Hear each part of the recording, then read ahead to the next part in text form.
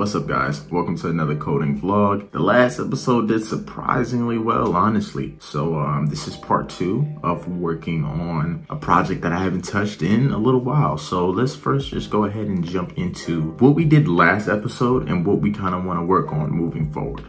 All right, you know, I gotta get the perfect angle right here. Okay, so last episode we worked on the header, the idea bank. So to kind of refresh some of you guys' memory, this is what my idea was for this idea bank. It's just a little bit of a beginner project. I haven't coded in about a week, honestly, because I've just been kind of focused on other things. But with that being in mind, what we did last episode, we, we worked on this, uh, we worked on this part of the project right here which is just simply Omar's had idea header bank. We just wanted the header right there. We worked on the CSS, uh, some of the CSS for the website, just basically kind of, you know, getting the background and stuff in order. But mainly, the cool thing that we did was when we click this right here, an input field pops up. We still gotta kind of design it, but I'll kind of save that for like later on. The big part is I just kind of want to get the function in line. So once we hit Omar's idea bank, what happens here is we can type whatever we want, hello world, and add it. It's not storing the idea at all or the text, but we did kind of get the cool input field just in case if I'm feeling kind of lazy and I don't want to scroll all the way down, I could just hit the header of my page and instantly gain access to it as well too. So that's that. Um, and then the add button just simply closes it. But later on, the add button will be something that will kind of save it to our data and add a new input card just below here.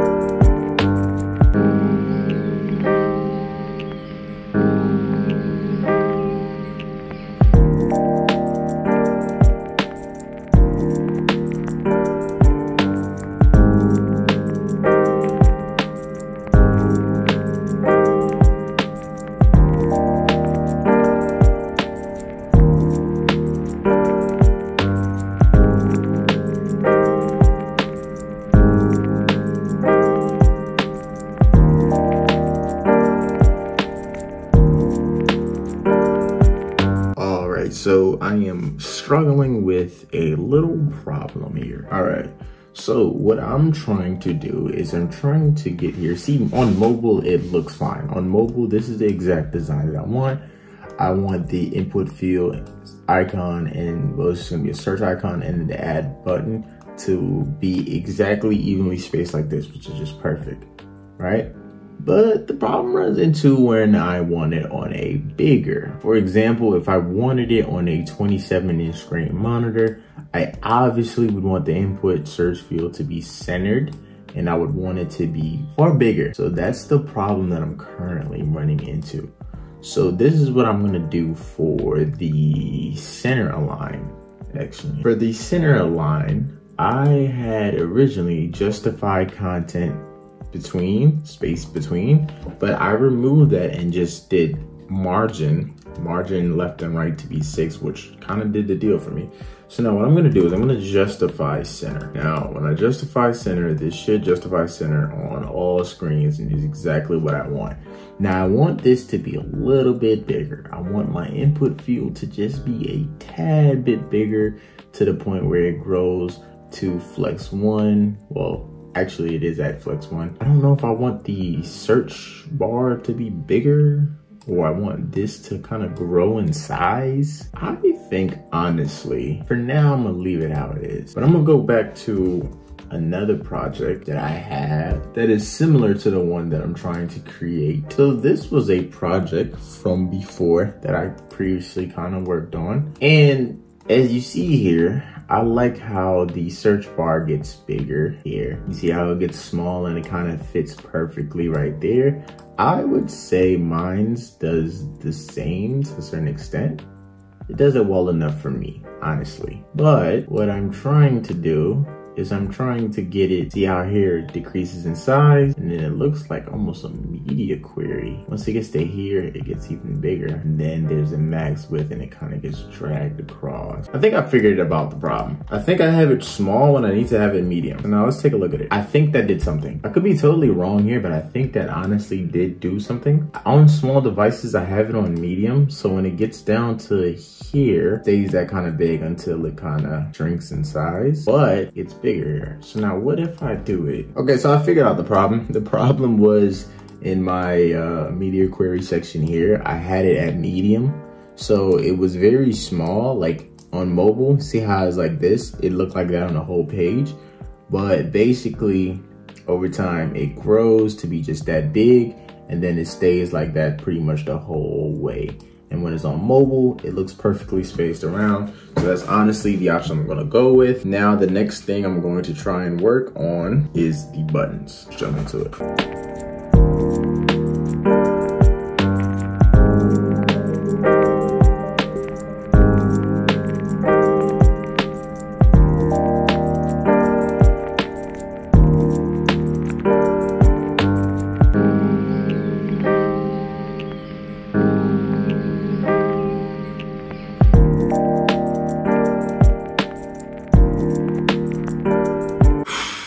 Just finished the input section. I gotta say, um, it took me 90 minutes just to style the input section, honestly, which is crazy. But the good thing is it's gonna take me 90 minutes now. But the next time I have to do something like this, it may only take me 15 to 20 minutes because just going through this process alone, you learn a lot. You learn what certain things do um, and random fire alarm. That's kind of what I'm, I'm doing. So it took me 90 minutes just to kind of finish the input section and I didn't even get started with the JavaScript. So uh, yeah, let me just go ahead and show you guys what I got right now. All right, so show and tell for the class, please.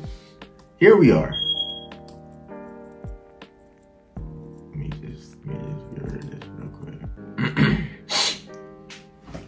Anyway, here we are. This is the new design of the Omar's Idea Bank. And honestly, I like it far better. It's something about the color slate that just, just like, yeah, you know what I'm saying? It just really like, it's something about the color slate that I just like so much. I don't know if it's just the simplicity of it or just like the, the, the, the, flavors of gray and blue. I don't know. I just, I just really like it a lot. So I decided to change the website background over to this and then I wanted to add slate buttons as well.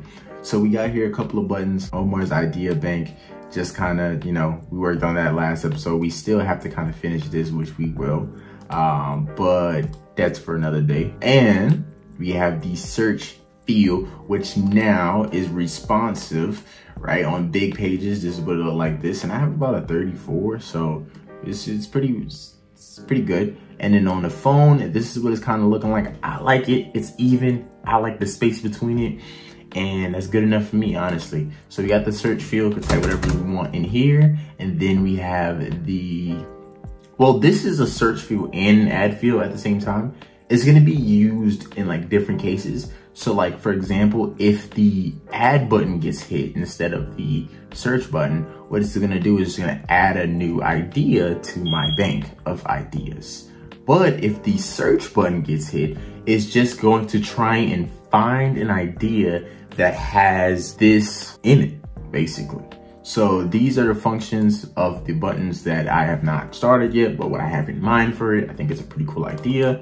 And then we're gonna have, you know, whatever we need to um, with it. With that being said, that's gonna be it. Um, it took me 90 minutes to code this. Next time it'll take me 15. It's gonna be kind of it for today. And uh, I really hope you guys enjoyed. This video is gonna be quite short, but coding episode part two, I feel pretty good.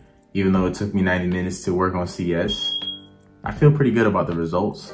Um, and I'm really excited to kind of work on the next thing. So next episode coming soon, stay tuned.